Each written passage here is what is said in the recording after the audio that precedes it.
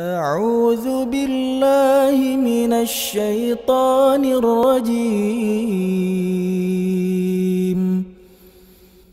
بسم الله الرحمن الرحيم.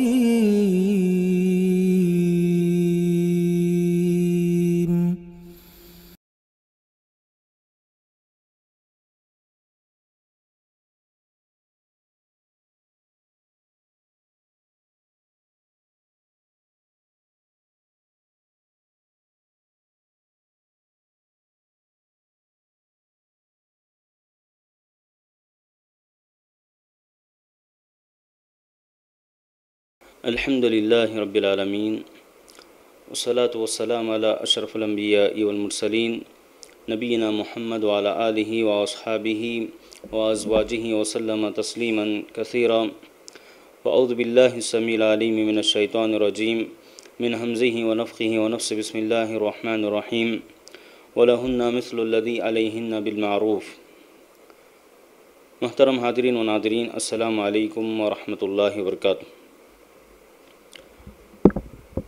پچھلے درس میں میاں بیوی کے حقوق کے سلسلے میں تمہیدی طور سے کچھ باتیں آپ کے سامنے رکھی گئی تھیں۔ آج کے درس میں شوہر کے حقوق کے سلسلے میں گفتگو ہوگی۔ محترم ناظرین، کامیاب اور پرسکون ازدواجی زندگی گزارنے کے لیے ضروری ہے کہ شوہر اور بیوی دونوں ایک دوسرے کے حقوق کا احترام کریں۔ اور دونوں کے لیے بھی ضروری ہے کہ وہ اس بات سے واقفیت حاصل کرنے کے بعد کہ حقوق ایک دوسرے کے کیا ہیں، اس کو صحیح معنوں میں ادا کریں۔ بیوی کے لیے ضروری ہے کہ وہ شوہر کے حقوق کو ادا کریں۔ اور اسی طرح شوہر پر ضروری ہے کہ وہ بیوی کے جو حقوق بتائے گئے ہیں، اس کو صحیح معنوں میں ادا کریں۔ دونوں ایک دوسرے کے حقوق کے سلسلے میں حق تلفی سے کام نہ لیں۔ اللہ رب العالمین نے کہا، وَلَهُنَّ وَلَهُنَّ مِثْلُ الَّذِي عَلَيْهِنَّ بِالْمَعْرُوفِ۔ کہ عورتوں کے بھی ویسے ہی حقوق ہیں جیسے ان پر مردوں کے ہیں۔ تو اسی لیے اللہ کے نبی صلی اللہ علیہ وسلم نے حجت الوداع کے موقع پر بھی یہ فرمایا تھا کہ یقیناً تمہاری بیویوں پر تمہارا حق ہے اور تم پر تمہاری بیویوں کا حق ہے۔ لہذا شوہر اور بیوی اگر ایک دوسرے کے حقوق کی پاسداری کریں تو یقینی طور پر ان کی ازدواجی زندگی جو ہے انتہائی پرسکون گزرے گی۔ شوہر اور بیوی کے جو حقوق ہیں، اس کو علماء نے تین قسموں میں تقسیم کیا ہے۔ نمبر ایک، شوہر کے حقوق، نمبر دو، بیوی کے حقوق، اور نمبر تین، کچھ حقوق ایسے ہیں جو دونوں کے درمیان مشترک ہیں۔ تو آج کے درس میں ہم شوہر کے چند حقوق بیان کریں گے۔ سب سے پہلا بنیادی جو حق ہے بیوی پر ضروری ہے کہ وہ شوہر کی اطاعت و فرما برداری کریں۔ بیوی پر ضروری ہے کہ جو بھی جائز کام ہیں جو قرآن و سنت کے خلاف نہیں ہیں، ایسے تمام دنیاوی اور اخروی ان تمام معاملات میں، تمام امور میں وہ شوہر کی اطاعت و فرما برداری کریں، اس پر ضروری ہے اللہ تعالیٰ نے نیک بیویوں کی صفات بتاتے ہوئے سورہ نساء میں کہا فصالحات و قانتات کہ نیک عورتیں وہ ہیں جو شوہروں کی اطاعت کرنے والی اور فرما برداری کرنے والی۔ اسی طرح حدیث میں اللہ کے نبی صلی اللہ علیہ وسلم نے اس عورت کو خوشخبری سنائی، جو شوہر کی اطاعت گزار ہوں۔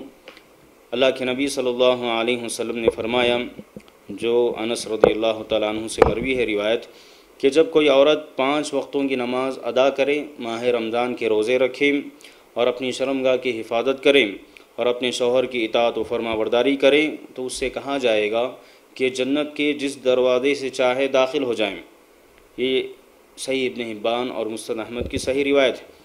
اسی طرح ابو حریرہ رضی اللہ تعالیٰ عنہ کی روایت جو سنن نسائی میں ہے، اللہ کے نبی صلی اللہ علیہ وسلم سے پوچھا گیا کہ کون سی عورت جو ہے سب سے افضل؟ ہے تو پیارے نبی صلی اللہ علیہ وسلم نے کہا کہ وہ عورت جب تم اسے دیکھو تو تمہیں خوش کر دے، جب تمہیں جب تم اس کا شوہر جو ہے کسی بات کا حکم دے تو اس کی فرما برداری کریں۔ اور اسی طرح اپنے نفس اور مال میں اس کی خلاف ورزی نہ کریں۔ اسی طرح جہاں اللہ کے نبی صلی اللہ علیہ وسلم نے فرما برداری اور اطاعت پر خوشخبری سنائی، وہیں پر نافرمانی کے سلسلے میں پیارے نبی صلی اللہ علیہ وسلم نے سخت وعید بھی سنائی۔ ابو حریرہ رضی اللہ تعالیٰ عنہ سے مروی ہیں کہ جب آدمی اپنی عورت کو بستر کی طرف بلائیں اور وہ اس کی نافرمانی کرے اور رات اسی حالت میں گزار دے، تو صبح تک جو ہے فرشتے اس پر لانت کرتے ہیں۔ یہ صحیح بخاری کی روایت ہے۔ اسی طرح ایک اور روایت میں الفاظ آئے ہیں کہ جب عورت اپنے خاوند کی خواہش کے باوجود اس کے بستر کو چھوڑ کر رات گزاریں تو صبح تک فرشتے جو ہے اس پر لانت کرتے ہیں۔ اس طرح کی اور روایتیں صحیح مسلم میں مذکور ہیں۔ تو ان تمام حدیثوں میں یہ بات بتائی گئی ہیں کہ عورت پر ضروری ہیں بیوی پر ضروری ہیں کہ اپنے شوہر کی جو ہے اطاعت و فرما برداری کریں جائز قوموں میں اس کا ساتھ دے اور نافرمانی سے بچنے کی پوری کوشش کریں کیونکہ شوہر کی نافرمانی کرنا اتنا بڑا گناہ ہے کہ اس کی وجہ سے نافرمان بیوی کے نماز بھی قبول نہیں ہوتی۔ جیسا کہ اللہ کے نبی صلی اللہ علیہ وسلم نے فرمایا کہ تین قسم کے لوگ ایسے ہیں جن کی نماز قبول نہیں ہوتی۔ اس میں اللہ کے نبی صلی اللہ علیہ وسلم نے یہ کہا کہ اس عورت کی نماز قبول نہیں ہوتی جو اپنے شوہر کی نافرمانی کرے۔ یہ صحیح روایت ہے صحیح و ترغیب و ترغیب کی روایت۔ اسی طرح شوہر کے حقوق میں سے ایک اہم حق شوہر کی خدمت۔ شوہر کی خدمت کرنا یہ بیوی پر ضروری ہے۔ خود ہم دیکھیں امہات المومنین۔ اللہ کے نبی صلی اللہ علیہ وسلم کی بیویاں جو اس امت کے لیے ایک مثال ہیں، ایک آئیڈیل کی، ایک اسوے کے مانند ہیں۔ ان کی خود زندگی دیکھیں کہ وہ پیارے نبی صلی اللہ علیہ وسلم کی خدمت کیا کرتے تھے۔ بہت ساری روایتیں صحیح مسلم، صحیح بخاری۔ اور اسی طرح دیگر کتب حدیث میں مذکور ہیں ام المومنین عائشہ صدیقہ کے بارے میں، میمونہ کے بارے میں اور دیگر ازواج متحرات کے بارے میں آتا ہے کہ اللہ کے نبی صلی اللہ علیہ وسلم کی خدمت کیا کرتی تھیں۔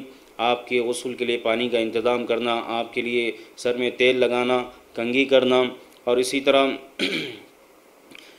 پانی نہانے کے لیے آپ کے لیے پردے کا انتظام کرنا، مسواک کا اہتمام اور بہت سارے خوشبو لگانا۔ جیسا کہ ام المومنین عائشہ صدیقہ سے ثابت ہے۔ تو یہ تمام باتیں، یہ تمام احادیث اس بات پہ دلالت کرتی ہیں کہ ازواج متحرات جو ہے اللہ کے نبی صلی اللہ علیہ وسلم کی خدمت کرتی تھی اسی طرح ہم غور کریں، جنت کے سردار، جنت کی عورتوں کی سردار فاطمہ بنت محمد صلی اللہ علیہ وسلم کا معاملہ کیا تھا؟ کہ حضرت علی رضی اللہ تعالیٰ عنہ کی آپ خدمت کیا کرتی تھیں اور چکی پیس پیس کر آپ کے ہاتھوں میں چھالے پڑ جاتے تھے۔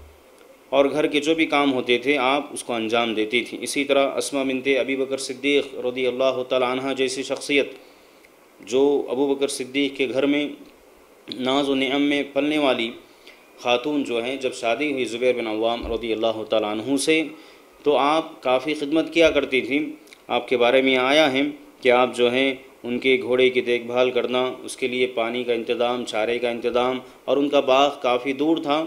وہاں چل کر جاتی تھیں، چل کر آتی تھیں، کھجور کی گٹلیاں جو ہے جمع کر کے لاتی تھیں اور گھر کے بہت سارے امور، دیگر امور جو ہیں انجام دیتی تھی۔ یہ تمام احادیث اور واقعات اس بات پہ دلالت کرتے ہیں کہ اس امت کی بے مثال خواتین جو ہیں اپنی شوہروں کی خدمت کرتی تھیں۔